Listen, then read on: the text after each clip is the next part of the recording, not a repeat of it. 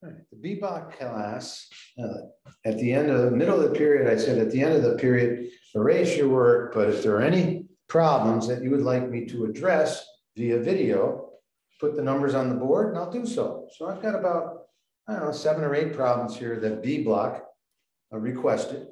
And um, A block on Monday, feel free to do the same thing. So what we'll do is homework, take the sheet back with you, copy your answers, or take a picture at the end of the class of your answer key so you know you've got correct answers. See if you remember how to do it at night. Or in case of the weekend, most people do their work on Sunday night. That's fine, you take a break. But then you come back to it because you're trying to get a working knowledge. A working knowledge means that 20 years from now, somebody asks me to write the equation of a line, I can just do it. That's working knowledge. I, I don't say, oh, I haven't done that in 20 years. Let me, you know, we'll see what happens in 20 years. I'm retiring. Yeah, so, you know, probably be, well, we won't go there.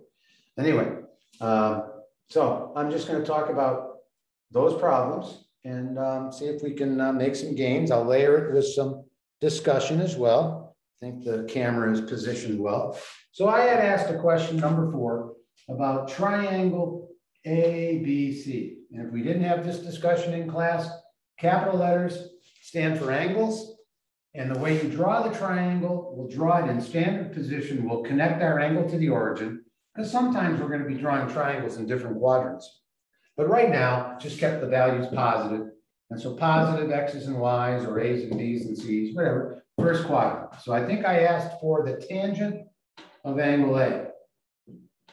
If I had asked for the tangent of angle B, because I don't want to have to erase twice, then I would have put B as my angle at the origin. And then that would be little b. There's my right angle. C is always going to be the hypotenuse. And then by process of elimination, that would be letter A, little letters side lengths. Uh, good, I have an eraser. Not a good one, but I have an eraser. But I didn't ask for tangent of B. I asked for the tangent of A. So therefore, I am going to draw angle A, and I don't care if it's drawn to scale or not. I'm just going to do little a, big A. Little a is opposite big A. There's my 90, hypotenuse C, and there's B. And what we've kind of done is standardize the drawing. So if we all have the same drawing, it's going to be much quicker to analyze. And I think I gave you A is 3 and C is 4. And what I've been pushing in class is Pythagoras. So if that's 4, that's 16. If that's 3, that's 9. That means that has to be 7. If this area gets bigger, this one's got to get smaller. All right, so I can erase those and I can say, okay, that's square root of seven. So what's the tangent of angle A? That's three. We don't care about that. Tangent is opposite over hypotenuse. So the tangent of this angle is three over seven, three over root seven. Okay. Now, if I wanted to know what the angle is, I'd have to do the inverse tan, right? Haven't we been talking about what that means? Inverse. So that's the notation we use. And I would have put this in a calculator and probably would have set it to, to degree mode and just typed it in Google. I think Google would take this and give you a choice of degree or radian. And I think this has got a better feeling if we talk about degree measurement. I think you can see all of that. All right, so I hope that helps somebody. Now, algebra really has evolved from the relationships in a rectangle. A lot of it has. And a rectangle has length and width. And I can't tell you what the size of that length and width is. The only time I can tell you what the actual values of length and width is, is when the area is zero. Because I know the product length times width equals zero. Has to mean that one of the dimensions, for instance, the height, I could have put height instead of, could have put height times width. If I get rid of the height, notice how the height's getting smaller. What's happening to the area of that rectangle? It's gone. There is none. So I could have talked about another dimension, length times width times height. Then I could have talked about the volume of a box. And I hope you realize that if I get rid of one of the dimensions, like squashing a box, boom, volume is gone. So it's very helpful sometimes when we write calculations in terms of products because a product can always be set to zero.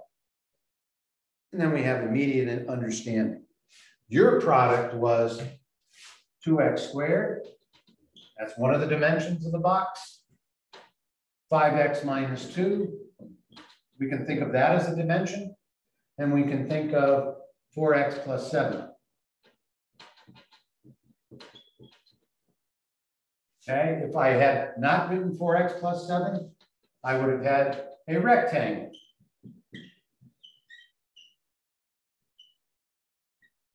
Okay, and those sides are not even. So what comes out of that historically? Something called completing the square, where we shorten the longer side, we lengthen the shorter side, and then we get a perfect square, which means we can use an inverse operation plus minus square rooting, right? So I hope you get a sense of the history of the development of the, the thought processes.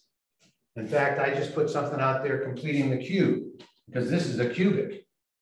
It's got three dimensions. Actually, it's a quartic. It's got two, three, four. It's got four dimensions, which means one of the dimensions I don't even know what to call because I don't know how to draw a fourth dimension, but I certainly can play with it algebraically. So what would it be nice to have a product equal? zero. So the last thing you want to do is rewrite this as ax to the fourth plus bx cubed plus cx squared plus dx plus e equals zero. That's the last thing you want to do. My God, it just got a whole lot more complicated. And I know how to write that in graphing form, but even that doesn't help. What helps? Writing these in terms of products. So if this is our length, this is our width, and this is our height. What number gets rid of the length? And I hope you would say x equals zero. What number gets rid of the width? Well, we want 5x minus 2 to have no magnitude.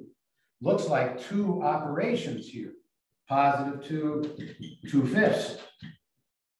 So if I put 2 fifths in here, the 5's cancel, the 2 minus 2 becomes 0. And if I put a zero here, I, you know, I don't have to put two fifths in here. Zero times anything, whatever those lengths are, doesn't matter. No width, no volume. So maybe you can look at that one now and just say, okay, what could x equal here? Negative seven fourths. You know, what are we going to do with this? Well, later on, we're eventually going to talk about when is it greater than zero? And graphing these is very helpful in, for a calculus class. So this is 5x minus 2. So I know that if I create zeros, I've created roots at negative 7, 4. I've created a root at 2 fifths. And I've created a root at 0. And if I put a million in here, it comes out as a positive. You know, I know this thing. Uh, well, I should find the y-intercept, negative 14. So it looks like this thing has a y-intercept of negative 14. Did I do that right? Zero, if I put, no, zero, that is the y-intercept, excuse me. Zero times anything is zero. So this graph looks something like that. If I put it in Desmos, that's going to be very helpful in future discussions. So let me give you another one right now and see if you can tell me what values for x will produce zero, zero, zero, and zero. So I'll give you four dimensions. And they'll all be linear dimensions, which means there's a sign change.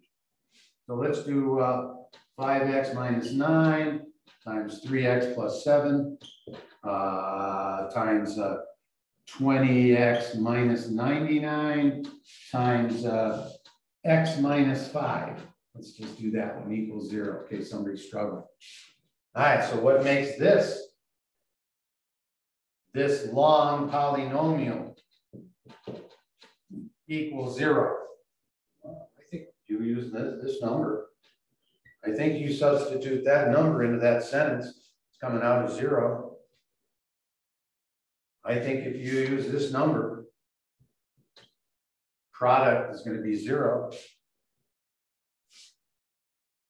I think if you use that number,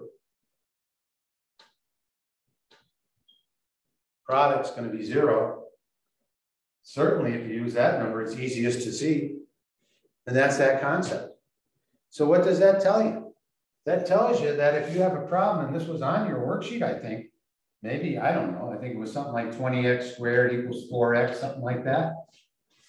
Well, that's a polynomial. If I move it to one side and make this right side zero, then that tells me if I can write this as a product, I should be able to see my answers. All right, so I can take out a four x times uh, five x minus one. I can see my answers, zero and one fifth. Obviously, that's a skill you want. Okay, and we first introduced that in Algebra 1.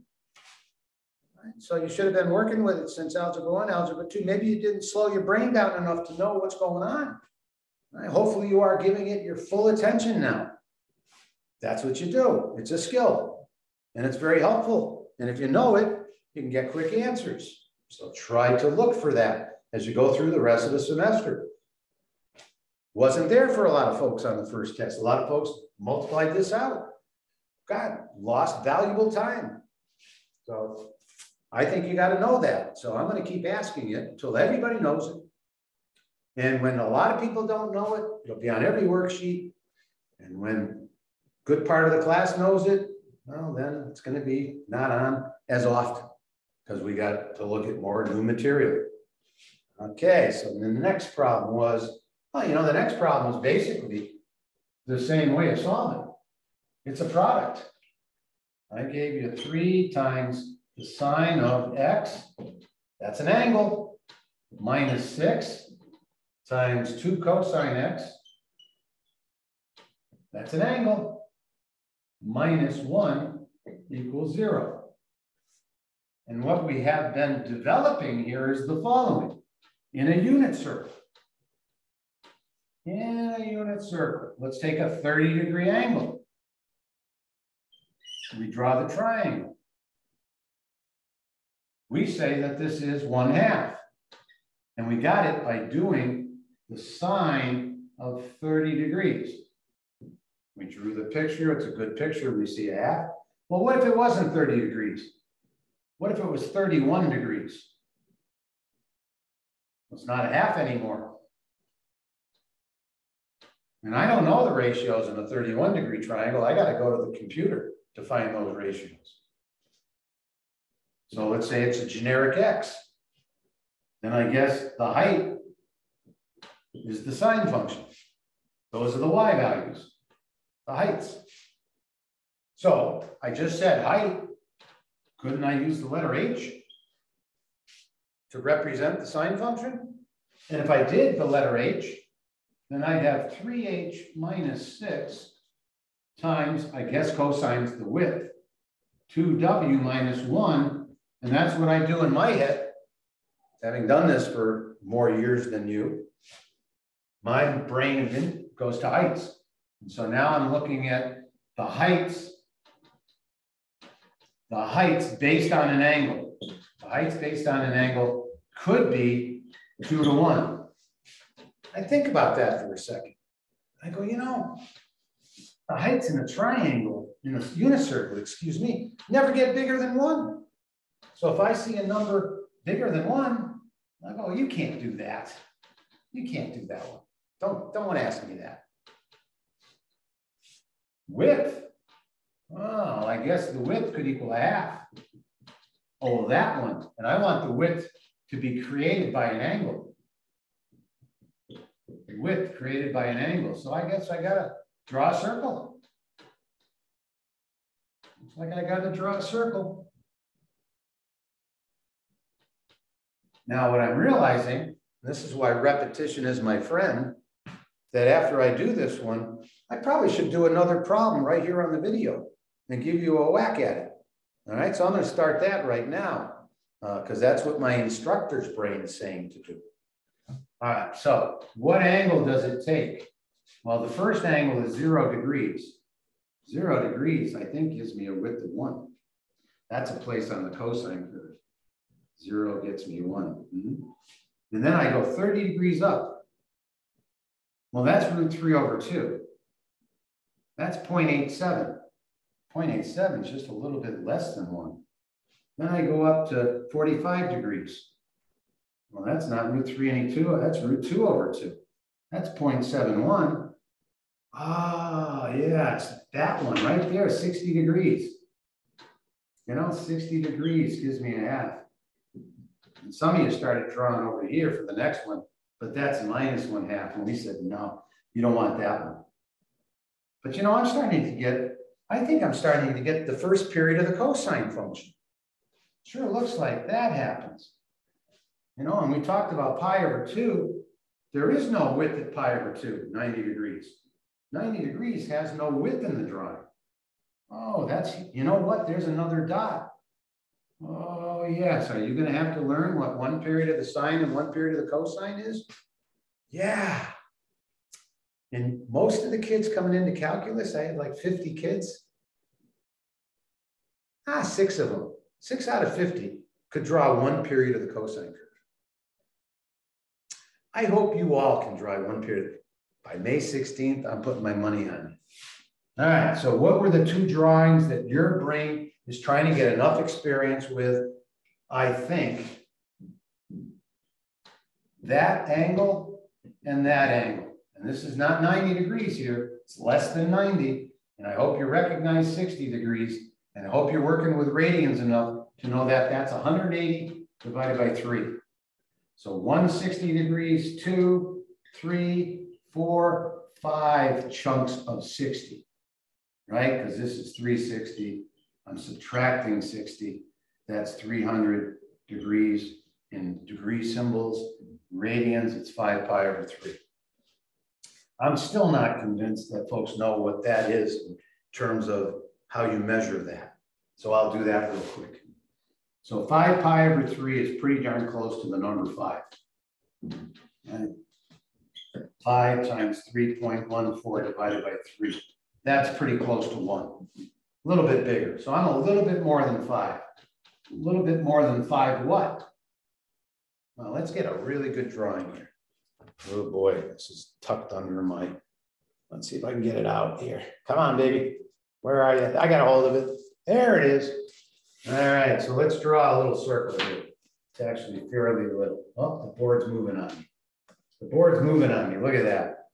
All right, uh, I'll go freehand.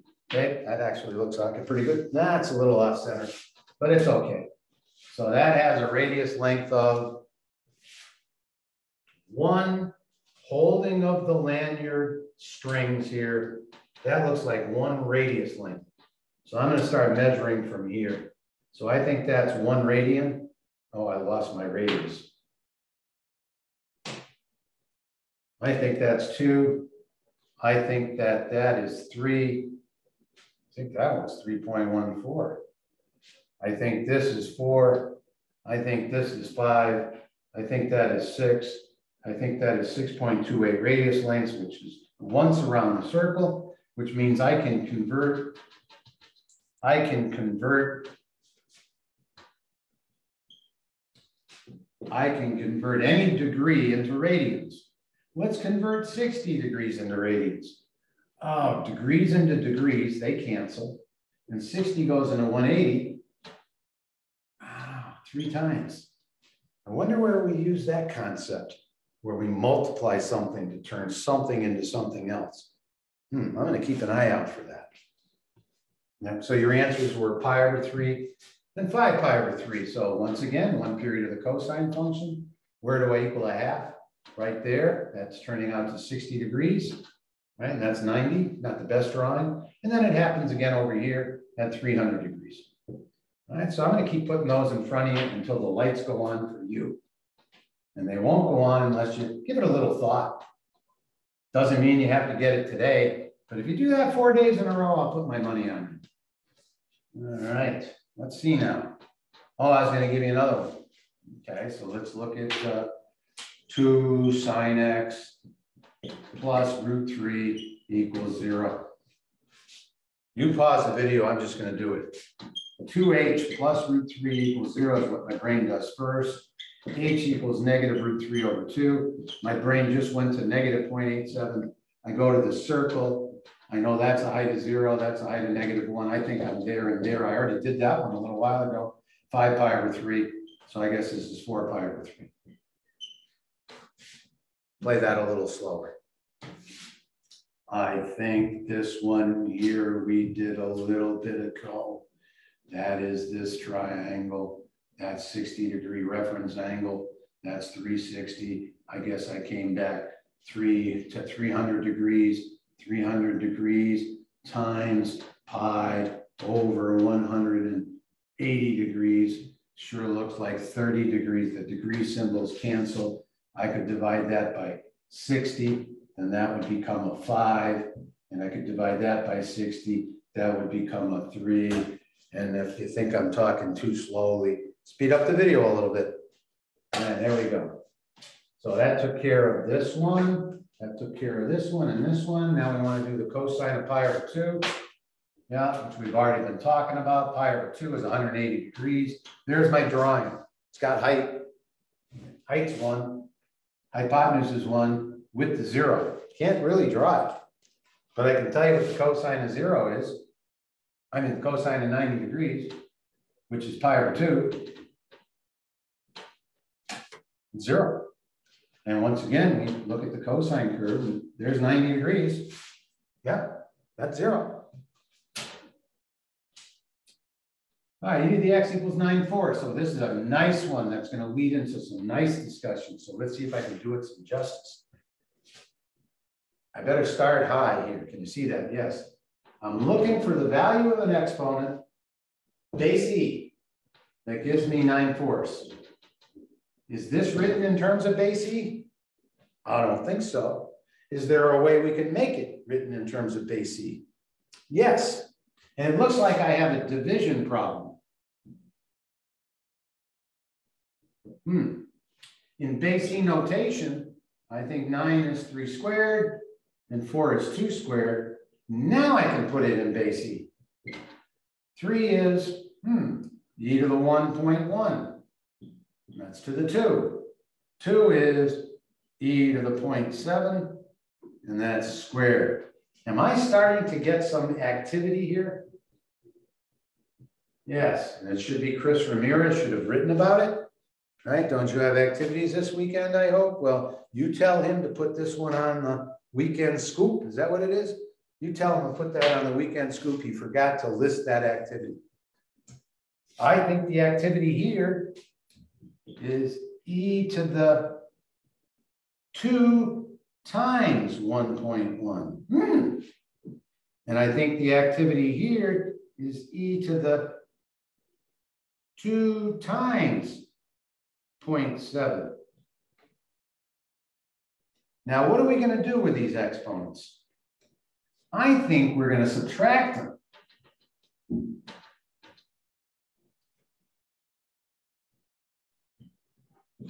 Yeah, we could subtract them, right? We're just looking at 2.2 minus 1.4. So I guess my answer for x is 0.8. So over here, I would, my final answer would be x equals 0.8, not e to the 0.8. I'm just looking for the exponents. There's the activity. Now this is kind of interesting. I got a subtraction. Why do I have a subtraction?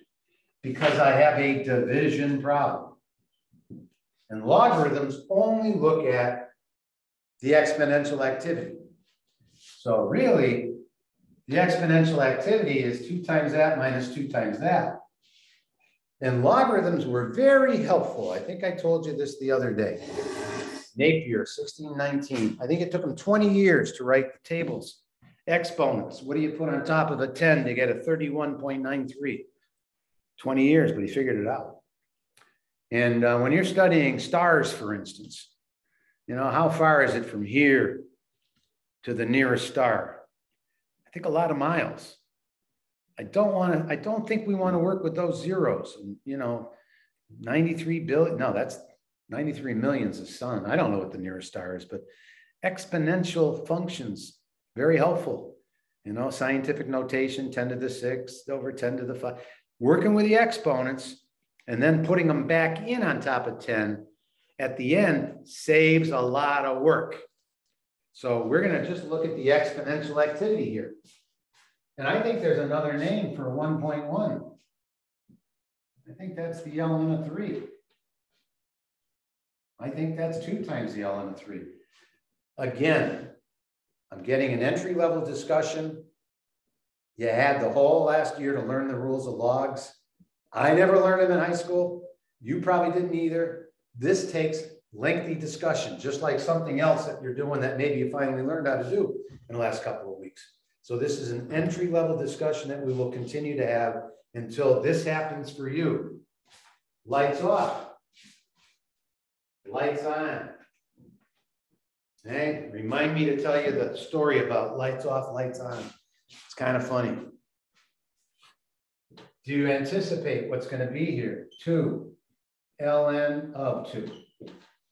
Yeah? Now, where did this come from? This came from squaring the number three. We started there. Where did this come from? This came from squaring the number four. So this has nothing to do with that exponent, right? The exponential activity is here. Keep that in mind, all right? It's very big difference from squaring that number and just squaring the two. What is this? The ln of 9. This is the ln of 4. Those numbers you get off a calculator. We are approximating them just so we get a feel for what's going on. So you would do this to get your answer, and it would be darn close to 0.8. I'm going to guess 0.79. I'm going to guess 0.7996 on a calculator. That's close enough. And why is there a subtraction there? Because it was a division problem. Right? When you do a division, if you get the same base, you get some subtraction of exponents. All right, so that was not something I expected you to, to grasp at an instant, but you're never going to grasp it just until we start with some entry level questions. And I will do a much simpler one than this when we want to address that. What I was hoping you would get out of this is understanding if you wanted to get some answer base E, then you got to convert the numbers into base E. That's what I was hoping for today. All right. So now we only have three more problems. And then I will upload this and hopefully it helps the people who requested that I do these problems. All right, so now we're graphing the sine function. Now, anytime you want to graph a function and you don't know what it looks like, you got to collect data. All right, that should have been an Algebra 1 experience big time.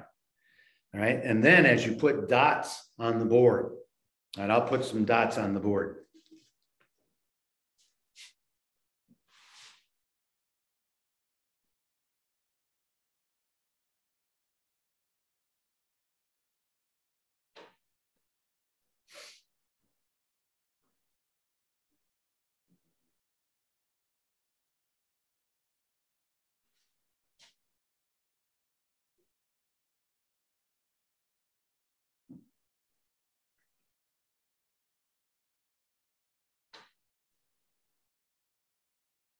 That was my nose. It's my eyes. Right. Eventually, that was a terrible example of putting dots on the board and coming up with a picture. Oh, that was awful. But eventually you get to see something, a pattern. What would have been an easier one? Maybe something like this.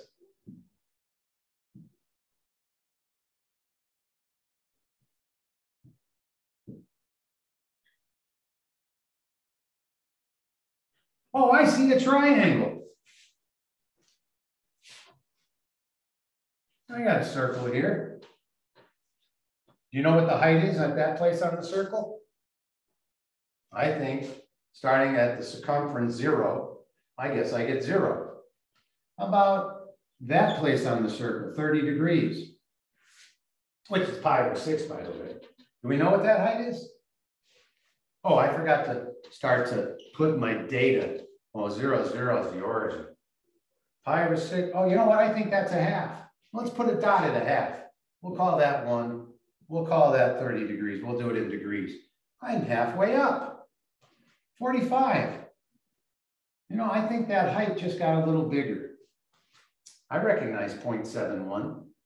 I recognize 45 degrees as root 2 over 2, which is approximately 0.71. I don't think you worked with that enough to have necessarily figured that one out, but I hope you know what pi over 3 is. I hope you know what 60 degrees is. I hope you say root 3 over 2. And I hope you're starting, I know a lot of people know what that is, 0.87. 0.87 is bigger than 0.71. So, oh, 0.71 was the 45, 0.87 is the is the um, 60 degrees, so 30, 60, looks like 90, real important, 90 degrees. Oh, the height's one. I'm starting to put some dots on the board. Do you think you can continue with the rest of it? That's one period of the sine function. Because when I get back all the way around, I think I'm back to a height of zero at 2 pi. No height. I guess at pi, no height. Oh yeah, over here, no height to that. So that's what you got to do. Every time you solve an equation, there's a place on the board. I think we did, uh, didn't we do the uh, sine or something? Maybe we didn't do the sine. We did the cosine, I think, earlier. Okay, so that's what you're trying to put in your brain one period of the sine function, because if all of a sudden I doubled it, then I wouldn't have gone up to one, I would have gone up to two. And we call that an amplifier. Right? You like to hear me play the guitar, right? Nice folk song, you know. Uh, what the hell did we sing in the 60s? Michael, Row the Boat Ashore but I want to amplify it. So I plug it into this electric machine. I don't do that because I don't handle technology well. And then I go, sorry, I did that to you. Okay, so amplification. We're going to play with this a lot. We're going to even shift, you know, so it doesn't start at zero anymore. It starts over here at two. We're going to play with this thing. So we got to get familiar with one period first. Now I could wait. You know, nobody else is talking about trig right now. I can wait. I can start talking to you after midterm, begin these discussions, but I think it's better if we do it now. All right, 30, 60, 90 triangles. That's problem, I don't know, number 26, I guess. I think that's where I'm at, 26. So what do we know about a 30, 60, 90? Let's draw one. Pictures are very helpful. I think I better go smaller here because I'm going to make these much bigger. So 30 degrees, that's a 30 degree angle right there. Okay, I think that gives us a half. I think it gives us root 3 over 2. Do you mind if I write root 3 over 2 as 1 half times root 3? 1 half. Now we'll leave it as root 3 over 2. And 1. I'm to double the size of that. That looks like it's about twice. That looks about twice. That looks like it's about twice. If I double it, I think that's a two. I think that's a one. I think that's a root three. I think that's still 30 degrees. Let's multiply that by 10. That's too big. How about we multiply it by five? The angle is still 30 degrees. Well, that's 10. That's 5 root 3. And that's 5. Oh, that's half of that. Jeez, is there a pattern here? Well, let's see. This seems like it's twice the size of that. This seems like it's twice the size of that. I guess this is twice the size of that. This looks like this should be double to get that. This should be double to get that. This should be double to get that. Geez, I think that if I give you some new number here, like, like 60, I hope you could tell me what that is. I hope you'd say 30. That would be nice. And if I gave you 40 here, well, I hope you'd say that that's 80. Sure looks like hypotenuse and smaller side come to you in a two to one ratio or a one to two ratio. Okay, that takes care of that one. Well, let's multiply this by five again. It's 10, that's five, that's five root three. Geez, let's say I don't give you that. I give you the smallest side. I wonder if you can figure out how to get to that. Oh, it sure looks like you multiply by root three. And it's helpful if you know what root three is. It's 1.73-ish.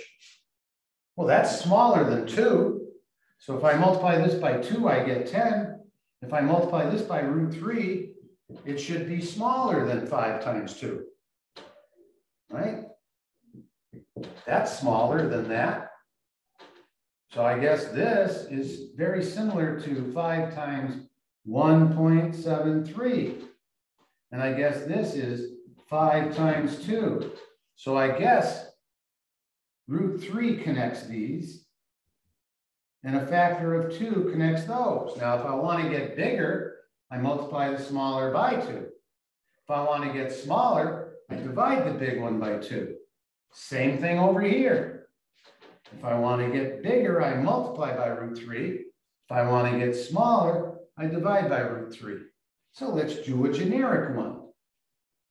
This is for your SATs and also understanding that the size of the triangle doesn't matter. So let's call this X. Can you tell me what those are? Pause the video and try. I hope you took X and multiplied it by 1.73. It gets bigger. I hope you took X and you doubled it. I might not give you the smallest side. I might give you the middle side. Can you give me the other two? I hope. To get smaller, you would have divided by root three. And once you get that one, I guess over here, you would double it. Nobody ever asked you to go from this side to that side, but now that I see it, whatever this number is, I guess I double it and divide by root three. I didn't know that until just now, 45 years. I probably did that once or twice before, but never found it really helpful. So it's not in my memory banks. Okay, so I guess we're down to one last problem. How do we sketch?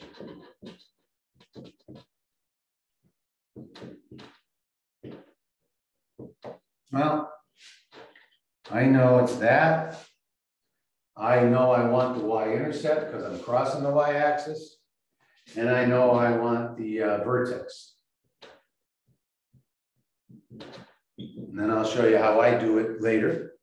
But let's just get this now. So minus b over 2a, minus 20 over minus 4 is 5. If I plug 5 in, that's 100. Cut it in half. 50 minus 1 is 49.